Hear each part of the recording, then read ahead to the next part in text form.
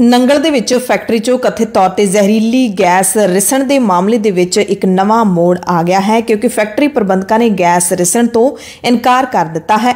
ਨੰਗਲ ਦੇ Saint Soldiers Divine Public School ਦੇ ਨਾਲ ਲੱਗਦੀ ਪ੍ਰਾਈਮੋ ਕੈਮੀਕਲ ਦੇ ਐਮਡੀ ਨਵਨੀਤ ਚੋਪੜਾ ਤੇ ਐਨਐਫਐਲ ਨਵਾਂ ਨੰਗਲ ਦੇ ਜਨਰਲ ਮੈਨੇਜਰ ਵਿਨੇ ਗੁਪਤਾ ਨੇ ਕਿਹਾ ਹੈ ਕਿ ਉਹਨਾਂ ਦੀ ਫੈਕਟਰੀ 'ਚੋਂ ਕਿਸੇ ਵੀ ਤਰ੍ਹਾਂ ਦੀ ਜ਼ਹਿਰੀਲੀ ਗੈਸ ਲੀਕ ਨਹੀਂ ਹੋਈ। ਉਹਨਾਂ ਤਰਕ ਦਿੱਤਾ ਕਿ ਜੇ ਗੈਸ ਲੀਕ ਹੋਈ ਹੁੰਦੀ ਤਾਂ ਪਹਿਲਾਂ ਫੈਕਟਰੀ ਦੇ ਵਿੱਚ ਕੰਮ ਕਰਦੇ ਮੁਲਾਜ਼ਮ ਪ੍ਰਭਾਵਿਤ ਹੋਣੇ ਸੀ। ਹੁਣ ਇੱਥੇ ਵੱਡਾ ਸਵਾਲ ਇਹ ਉੱਠਦਾ ਹੈ ਕਿ ਜੇ ਫੈਕਟਰੀਆਂ ਦੇ ਵਿੱਚੋਂ ਗੈਸ ਨਹੀਂ ਰਿਸੀ ਤਾਂ ਸਕੂਲ ਦੇ ਵਿੱਚ ਗੈਸ ਕਿਵੇਂ ਦਾਖਲ ਹੋਈ? ਆਸ-ਪਾਸ ਦੇ ਇਲਾਕੇ ਦੇ ਲੋਕ ਕਿਵੇਂ ਪ੍ਰਭਾਵਿਤ ਹੋ ਗਏ ਤੇ ਫੈਕਟਰੀ ਦੇ ਵਿੱਚ ਕੰਮ ਕਰਦੇ ਮੁਲਾਜ਼ਮਾਂ ਨੂੰ ਕੋਈ ਅਸਰ ਨਹੀਂ ਹੋਇਆ? ਆਖਿਰ ਗੈਸ ਰਿਸੀ ਤਾਂ ਕਿੱਥੋਂ ਰਿਸੀ? ਕੀ ਸਕੂਲ ਦੇ ਵਿੱਚ ਕੁਝ ਅਜਿਹਾ ਹੋਇਆ ਹੈ ਕਿ ਉੱਥੋਂ ਗੈਸ ਲੀਕ ਹੋਈ ਹੈ? ਇਹ ਵੱਡਾ ਸਵਾਲ ਹੈ। ਜਾਂਚ ਦੀ ਮੰਗ ਕਰਦਾ ਹੈ। ਦਰਅਸਲ ਕੱਲ ਫੈਕਟਰੀ ਦੇ ਵਿੱਚੋਂ ਕਥਿਤ ਤੌਰ ਤੇ ਜ਼ਹਿਰੀਲੀ ਗੈਸ ਰਿਸਣ ਕਾਰਨ ਸਕੂਲ ਨਵਾਂ ਨੰਗਲ ਦੇ ਵਿਦਿਆਰਥੀਆਂ ਦੀ ਹਾਲਤ ਵਿਗੜ ਗਈ। ਸਾਹ ਲੈਣ ਦੇ ਵਿੱਚ ਉਹਨਾਂ ਨੂੰ ਤਕਲੀਫ ਹੋਣ ਲੱਗੀ, ਸਿਰ ਦਰਦ ਹੋਣ ਲੱਗਿਆ। ਇਸ ਤੋਂ ਬਾਅਦ ਸਕੂਲ ਦੇ ਵਿੱਚ ਹਫੜਾ ਦਫੜੀ ਮਚ ਗਈ। ਸਕੂਲ ਪ੍ਰਿੰਸੀਪਲ ਵੀਪੀ ਕੌਸ਼ਲ ਨੇ ਤੁਰੰਤ ਛੁੱਟੀ ਕਰਕੇ ਸਾਰੇ ਵਿਦਿਆਰਥੀਆਂ ਨੂੰ ਘਰ ਭੇਜ ਦਿੱਤਾ। ਸੂਚਨਾ ਮਿਲਣ ਤੋਂ ਬਾਅਦ ਮੌਕੇ ਤੇ ਪਹੁੰਚੀ ਪੁਲਿਸ ਨੇ ਘਬਰਾਹਟ ਤੇ ਸਾਹ ਲੈਣ ਦੀ ਤਕਲੀਫ ਮਹਿਸੂਸ ਕਰ ਰਹੇ ਵਿਦਿਆਰਥੀਆਂ ਨੂੰ ਐਂਬੂਲੈਂਸਾਂ ਰਾਹੀਂ ਸਿਵਲ ਹਸਪਤਾਲ ਨੰਗਲ 'ਚ ਦਾਖਲ ਕਰਵਾਇਆ। ਡੀਸੀ ਪ੍ਰੀਤੀ ਯਾਦਵ ਨੇ ਦੱਸਿਆ ਕਿ ਸਿਵਲ ਹਸਪਤਾਲ ਦੇ ਵਿੱਚ 22 ਵਿਦਿਆਰਥੀਆਂ ਨੂੰ ਲਿਆਂਦਾ ਗਿਆ। ਇਹਨਾਂ ਦੇ ਵਿੱਚੋਂ ਇੱਕ ਵਿਦਿਆਰਥਣ ਨੂੰ ਪੀਜੀਆਈ ਚੰਡੀਗੜ੍ਹ ਵੀ ਰੈਫਰ ਕੀਤਾ ਗਿਆ ਹੈ।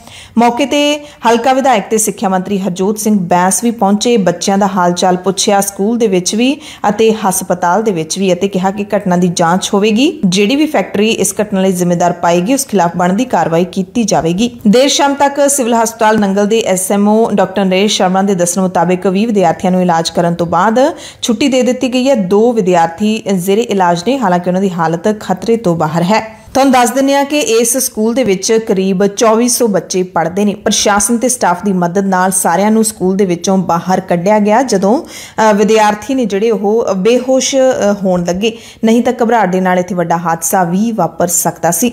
ਤੇ ਇਸ ਇਲਾਕੇ ਦੇ ਵਿੱਚ ਨੈਸ਼ਨਲ ਫਰਟੀਲਾਈਜ਼ਰ ਲਿਮਟਿਡ ਯਾਨੀ ਕਿ ਐਨਐਫਐਲ ਅਤੇ Punjab alkalies and chemicals limited P PACL ਨਾਮ ਦੀਆਂ ਦੋ ਵੱਡੀਆਂ ਫੈਕਟਰੀਆਂ ਨੇ। ਤੇ ਦੋਵਾਂ ਥਾਵਾਂ ਦੇ ਪ੍ਰਬੰਧਕਾਂ ਨੇ ਗੈਸ ਲੀਕ ਹੋਣ ਤੋਂ ਇਨਕਾਰ ਕੀਤਾ ਹੈ।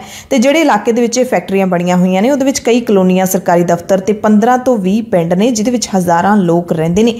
ਇਹ ਇਲਾਕਾ ਨੰਗਲ ਦਾ ਸਭ ਤੋਂ ਪੌਸ਼ ਤੇ ਮਹਿੰਗਾ ਇਲਾਕਾ ਮੰਨਿਆ ਜਾਂਦਾ ਹੈ ਤੇ ਫੈਕਟਰੀਆਂ ਦੇ ਨੇੜੇ ਹੀ ਸੇਂਟ ਸੋਲਜਰਸ ਸਕੂਲ ਹੈ, ਜਿੱਥੇ ਵੱਡੀ ਗਿਣਤੀ 'ਚ ਬੱਚੇ ਪੜ੍ਹਦੇ ਨੇ। ਡੀਸੀ ਨੇ ਮਾਮਲੇ ਦੀ ਜਾਂਚ ਦੇ ਲਈ ਕਮੇਟੀ ਬਣਾ ਦਿੱਤੀ ਹੈ ਤੇ ਜਾਂਚ ਤੋਂ ਬਾਅਦ ਹੀ ਪਤਾ ਲੱਗੇਗਾ ਕਿ ਆਖਿਰਕਾਰ ਗੈਸ ਰਿਸੀ ਤਾਂ ਕਿਵੇਂ ਰਿਸੀ, ਕਿਉਂਕਿ ਗੈਸ ਲੀਕ ਕਾਂਡ ਜਿਹੜੇ ਦੁਨੀਆ ਦੇ ਵਿੱਚ ਵਾਪਰਦੇ ਨੇ ਥੋੜੇ ਦਿਨ ਪਹਿਲਾਂ ਲੁਧਿਆਣਾ ਦੇ ਗਿਆਸਪੁਰਾ ਦੇ ਵਿੱਚ ਵਾਪਰਿਆ, ਉਸਨੇ ਕੀ ਕਹਿਰ ਮਚਾਇਆ ਸੀ, ਉਹ ਸਭ ਜਾਣਦੇ ਨੇ।